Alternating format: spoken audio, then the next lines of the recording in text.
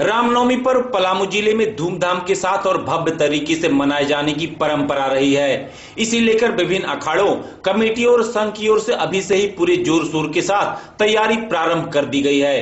डाल्टनगंज शहर की सड़कें व गलियों को महावीरी झंडों से पाटा जा रहा है। स्थानीय छमुआन चौक से गुजरने वाली लगभग सभी मार्गों को ऊँचे ऊँचे झंडों से सुसज्जित किया जा रहा है। कोयल नदी किनारे से गुजरने वाली सड़क इस वक्त विशेष छटा बिखेर रही है। वहीं कमेटी के पदाधिकारियों ने कहा कि रामलला की झांकी निकालने के लिए रथ निर्माण और मूर्ति निर्माण का कार्य अनवरत जारी है।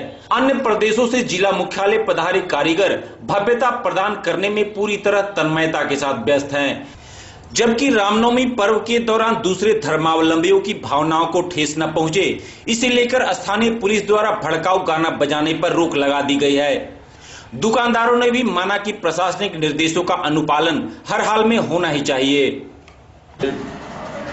रामनवमी पर्व को लेकर रामनवमी त्यौहार जो आ रहा है उसको लेकर यहाँ जो कैसेट सीडी जो सीडी या कैसेट जो बेचते हैं उन, उन सभी दुकानदारों को कल बुला के उनको समझा दिया गया कि भलरगल कैसेट सीडी ये सब मत बेचें और जो भी है उसको हटा लें।